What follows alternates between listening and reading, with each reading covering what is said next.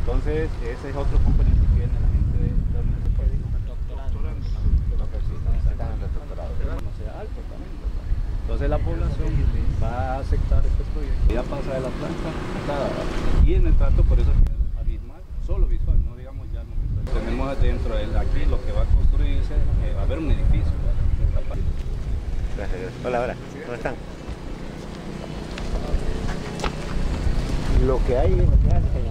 Sí, sí, ya veo. ¿Sabe usted que Reinaldo es de, la, de una de las... Pero hay que, hay que sembrar, ¿verdad? Claro.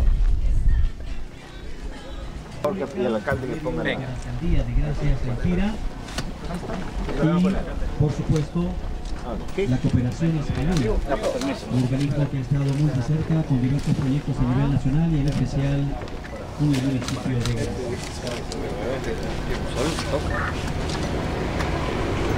La colocación de la primera piedra de Es, eso, sí, sí. la cooperación, la cooperación entre España y España. la colocación de esta primera piedra. Y de esta manera estamos llegando, y tomamos en cuenta que con este tipo de proyectos se alcanza. Y vamos a estar muy... Agradecemos a cada uno de los que nos han acompañado en este día. En- en- para otras regiones del país. Eh, Se coloca la primera piedra de este importante proyecto.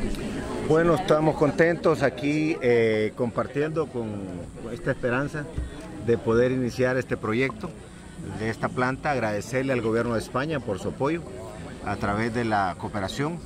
Eh, siento que ya este es uno de los pasos sólidos de proyectar a Gracia Lempira hacia el futuro.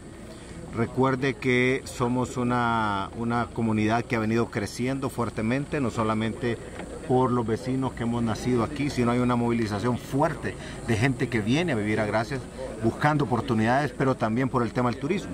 Y el tema del agua es vital, es vital para eso. Eh, también me alegra mucho que ya estemos hablando de proyectarnos a 20, 30 años. Solo los pueblos del mundo que entendieron que había que proyectarse a largo plazo son los que han salido adelante. Por eso están viendo ustedes hoy en Honduras un sistema de carretera de primera que estamos construyendo, pero es proyectado hacia el futuro. Puertos, aeropuertos, eh, sistemas aduaneros, integrándonos con el resto de la región. Y eso espero yo que tenga un, un gran impacto aquí en, en Gracias de igual manera al unir destinos turísticos como, la, perdón, como Santa Rosa, Copan Ruinas, eh, La Esperanza, entre otros. Así es de que estamos contentos, alegres. ¿Qué mensaje? Porque también debemos cuidar las fuentes de agua ante lo que nos agobia en el mundo, presidente. Eh, eso, Ángel, es clave. El que no entienda que eso es fundamental comete un grave error y nos hace daño a todos. Yo creo que ustedes, los medios y la población en general, tenemos que hacer un esfuerzo para entender que esto hay que cuidarlo todos los días.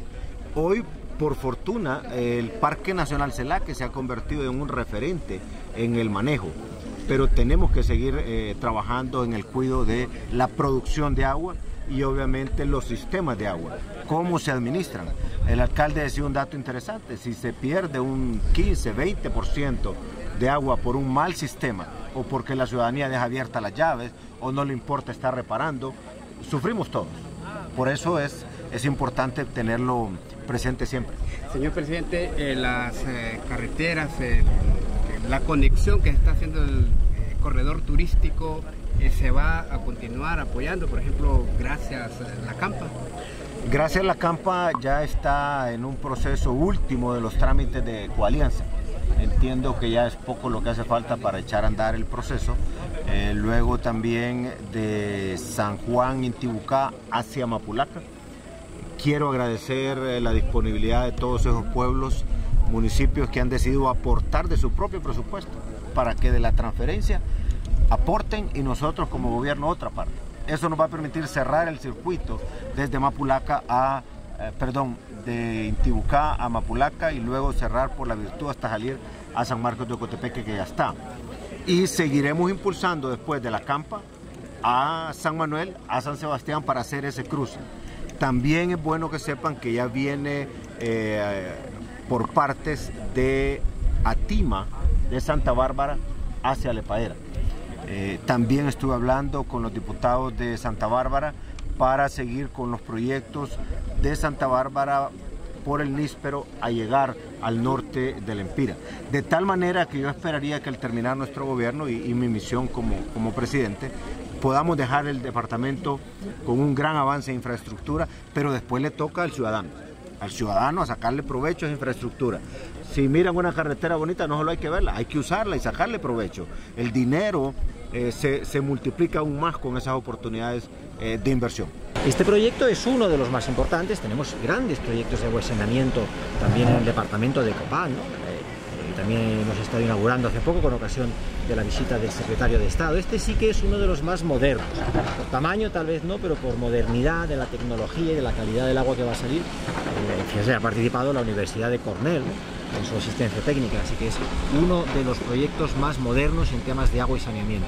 ¿Hay En satisfacción a- en el gobierno español al apoyar este tipo de, de Hay. obras? ¿Hay, ¿Hay satisfacción en el gobierno español Por a supuesto, por apoyar supuesto. este tipo de obras? La satisfacción la ve cuando, la siente cuando uno ve que el dinero de la cooperación es bien invertido, bien gestionado y se traduce en mejoras reales para la población.